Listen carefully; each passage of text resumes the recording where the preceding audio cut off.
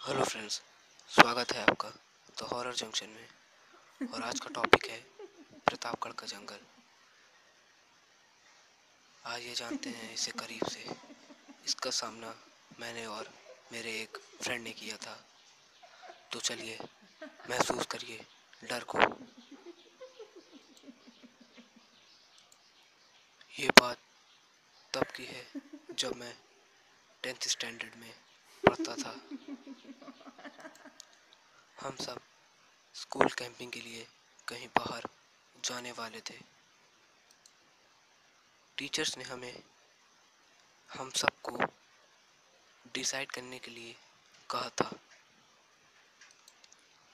बहुत सोचने के बाद हम सबने प्रतापगढ़ का जंगल में जाने का प्लान बनाया। मैं बहुत एक्साइटेड था कि हम सब दोस्त एक साथ जंगल में मज़ा करेंगे। क्योंकि इससे पहले मैं किसी जंगल में नहीं गया था। आखिर वो दिन आ गया और हम सब स्कूल बस में सवार होकर जंगल की तरफ़ जाने लगे। ये दिन का समय था। हम सब जा ही रहे थे कि अचानक बस चलते चलते रुक गई। हमने सोचा कि शायद टायर पंचर हो गया है। ड्राइवर नीचे उतरा। वो चेक करने लगा कि क्या गड़बड़ है? पर उसे कुछ भी समझ नहीं आ रहा था। खराबी ढूंढते ढूंढते आधा घंटा निकल गया। तब तक शाम के चार बज चुके थे।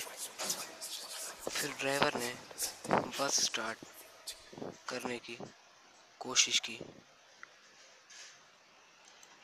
तो बस स्टार्ट हो गई। और हम जंगल पहुँच गए। धीरे धीरे दिन ढल गया और रात हो गई। अब हम सब अपने अपने कैंप में सोने के लिए जा रहे थे। हम सब कैंप में बैठकर इधर उधर की ही बातें कर रहे थे। बातों बातों में प्रेत की बातें छिड़ गई। हमने काफ़ी देर इस पर बात की। हम छह लोग थे। हम में से एक डरपोक था, जो नया स्टूडेंट था क्लास में। उसने कहा ये सब बातें यहाँ मत करो। हमने कहा, क्यों ना करें? फिर उसने कहा कि इस जंगल में एक टूरिस्ट का भूत घूम रहा है। वो टूरिस्ट यहाँ पर घूमने आया था। घूमते घूमते वो काफ़ी अंदर चला गया और भटक गया। उसके साथ उसकी वाइफ भी थी। उसकी वाइफ ने तो किसी तरह रास्ता ढूंढ लिया और जंगल के बाहर आ गई और अपने हस्बैंड को ढूँढने लगी। काफ़ी ढूँढने के बाद वो नहीं मिली। तो उसने पुलिस की मदद ली। पुलिस ने उठे ढूंढ लिया था, पर वो मर चुका था। उसके शरीर पर जंगली जानवरों के काटने के निशान थे, जिससे उसकी मौत हो गई थी।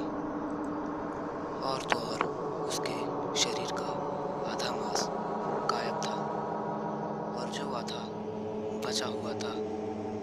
वो खून से लथपथ था शायद जंगली जानवरों ने ही उसे आधा खा लिया था। कहा जाता है कि उस हादसे के बाद जितने भी लोग इस जंगल में घूमने आते हैं, वो उन्हें मार देता है।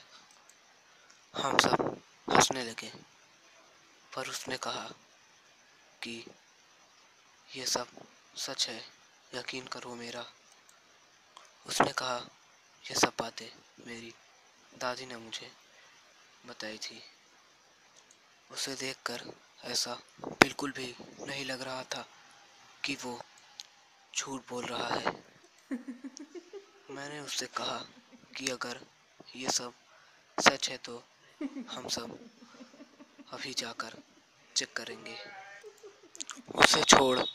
बाकी सारे दोस्त मेरे साथ आ गए। करीब रात के साढ़े ग्यारह बज रहे थे। हम सबने अपना अपना मोबाइल निकाला और जंगल के अंदर जाने लगे। कुछ दूर अंदर जाते जाते जंगली जानवरों की भयानक रोने की आवाज़ें आने लगी। उस भयानक आवाज़ को सुनते ही मेरे तीन दोस्त वापस कैंप के पास चले गए। अब सिर्फ़ मैं और मेरा दोस्त ऋषि ही बचे थे। हम दोनों अभी भी आगे की ही तरफ़ जा रहे थे कि किसी की चलने की आवाज़ आने लगी। हमें लगा हमारे तीनों दोस्त फिर से हमारे साथ आ रहे थे। इतना सोचते सोचते वो आवाज़ चलने के बजाय दौड़ने में बदल गई। दौड़ने की आवाज़ें तो आ रही थी, पर कोई दिखाई नहीं दे रहा था। हम घबरा कर एक बड़े से पेड़ के पीछे चुप गए और एक दूसरे से कहने लगे कि ये क्या कर दिया। तभी हमें कुछ दूर एक घनी झाड़ियों के पीछे कोई खड़ा हुआ दिखा। हमारे देखते ही वो गायब हो गया। हमने सोचा कि वो जो भी था, अब वहाँ से जा चुका है। पर ऐसा नहीं था। हम दोनों जैसे ही पीछे मुड़े तो हम जम से गए।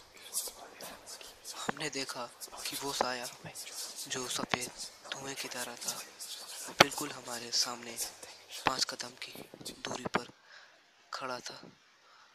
हमारी साँसें अजीब और बहुत ही तेज हो गई। और वो साया मेरे दोस्त की आँखों में देख रहा था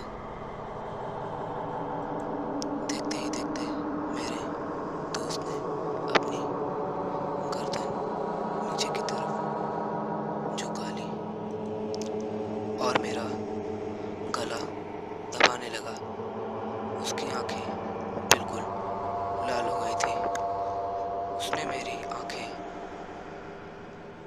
में घूरना शुरू कर दिया था उसके हाथों में इतना दम था कि जैसे कोई अधेड़ उम्र का आदमी मेरा गला दबा रहा हो। मैं बिल्कुल अधमरा हो चुका था। तभी मैंने देखा कि मेरे दाएँ तरफ़ से काफ़ी सारे लोग आ रहे थे। बस मैं इतना ही देख पाया और बेहोश हो गया।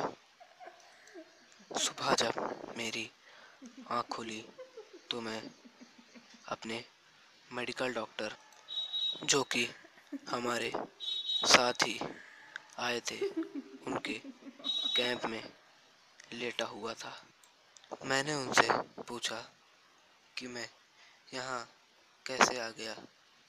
तो उन्होंने बताया कि तुम और ऋषि मुझे जंगल के एक बड़े से पेड़ के पास बेहोश मिले। तो मैंने उनसे पूछा कि, ऋषि कैसा है? तो उन्होंने बताया कि वो सो रहा है।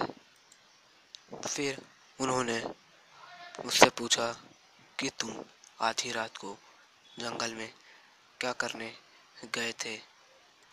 तो मैंने उन्हें कल रात की सारी बात बताई। वो तुरंत मेरी बात समझ गए। उन्होंने भी वही सब बातें बताई जो उस नए लड़के ने हमें बताई थी।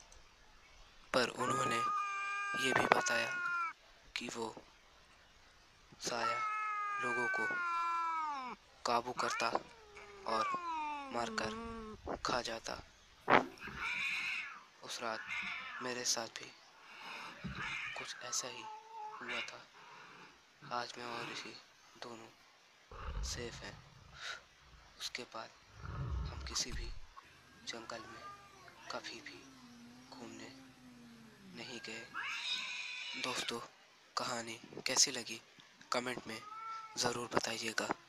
प्लीज़ हमारे इस वीडियो को लाइक शेयर एंड सब्सक्राइब करें। और वीडियोस के लिए